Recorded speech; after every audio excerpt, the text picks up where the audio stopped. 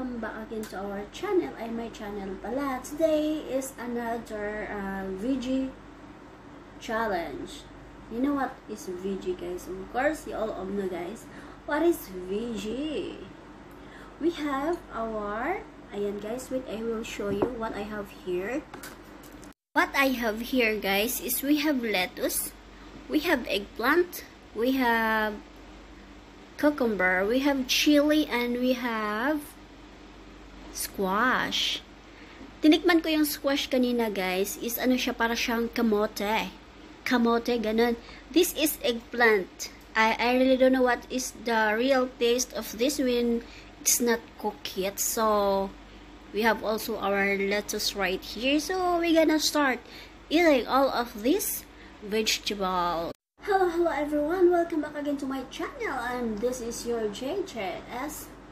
Once again, today is another day. So, be thankful for everything, guys.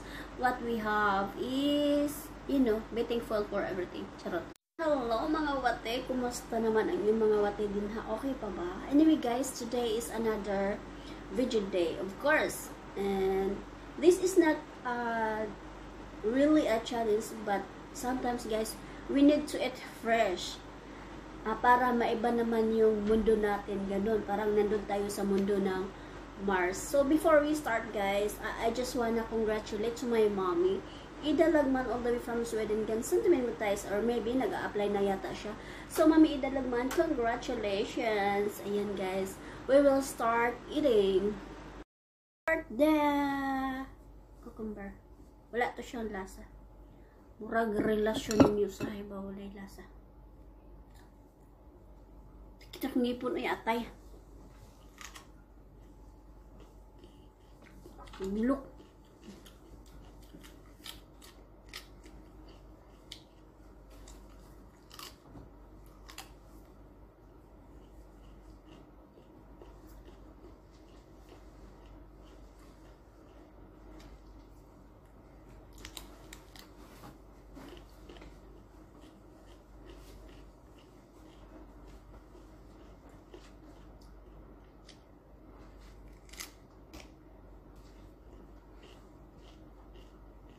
Mm. Is good, guys, when you are eating, stop talking, ganun. Baka ibang kainan na yun, guys, kapag hindi nagsasalita, diba? Kapag kumakain tayo, guys, maingay naman talaga, lalo na kapag yung pagkain is crispy.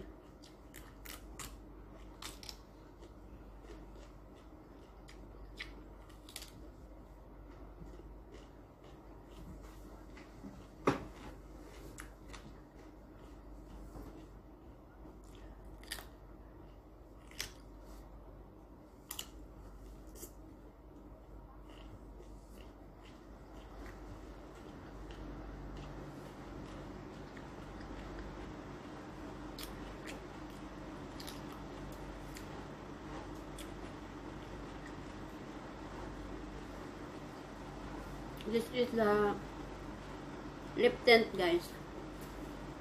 Charot.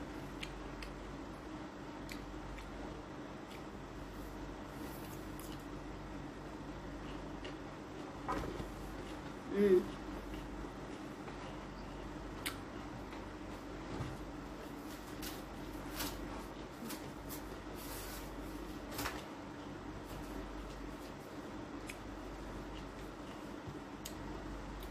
Itong eggplant guys,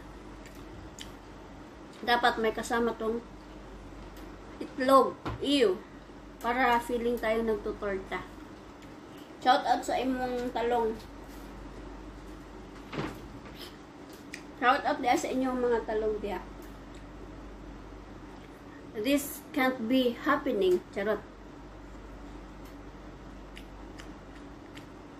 Diyan lasa sa talong nimo guys. Mm, eh, kuan sa nako, i-feel sa nako ang iyang lasa guys ha. Kaya ko nalasahan.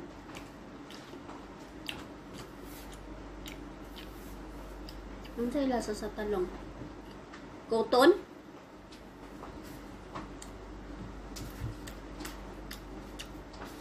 Mm, Saging wala na luto. Nice something guys. Ubi? No. Talong din siguro siya. Bayabas nga lanuton?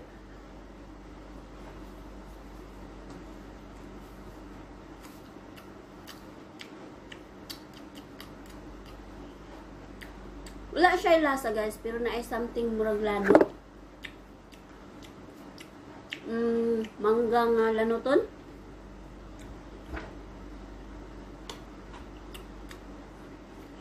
Or saging nga wala naluto. wala am siya lasa guys.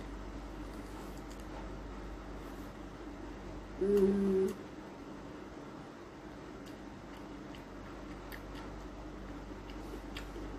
Kamuti nga nakudyas. Pwede na ko ni makaurot guys gawa siya lasa. Mas lamig gining na itlog. I cannot because wa siya lasa. Next guys, may ano tayo dito. What is this? Squash. Ang squash guys, tamis din siya masyag kamuti nga kuan wala matarong og lungag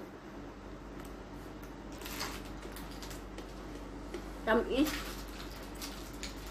tamis nga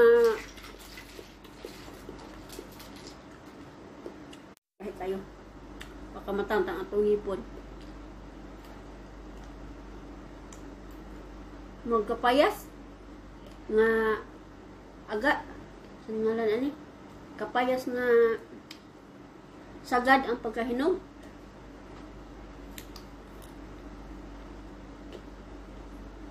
Mo man tag panding.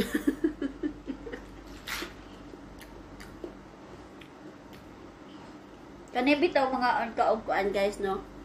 Kani mo kaon kaog ka ng mga vegetables ba nga wala giluto. Murag relasyon. Way lami. Hmm?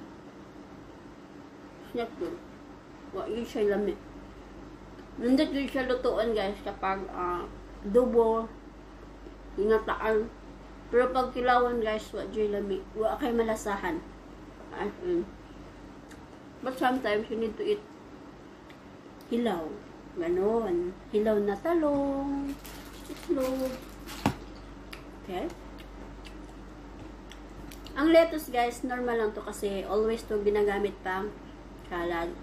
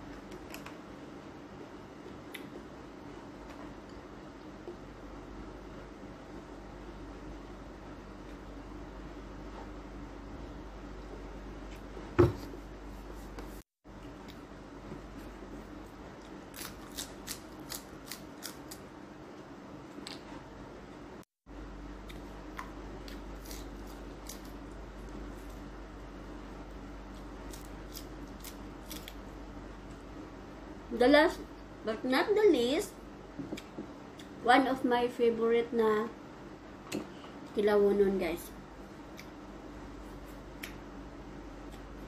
Shout out sa siling at taas. Yan. Kapag every time na ako magka every time na kumakain po ako is dapat talaga siya may sili. It's either green or yung biniblend, ganun. Hindi naman siya masyadong maanghang pero para siyang ano yan. Kapag wala kayong daing, pwede ito siyang maging ano niya, um, appetizer. Lalo na kapag biniblend mo siya tapos nilalagyan mo ng garlic and lemon and salt. Ganun.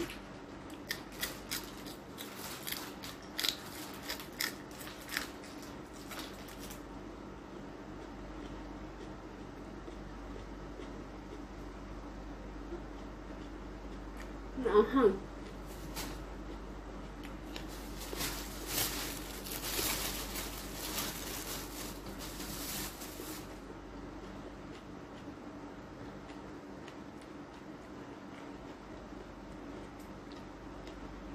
Super, super anghang. That's all for today. Lemon, lemon vegetables. Para po tayong rabbit and um, goat. Ganun. Thanks everyone for watching until my next video.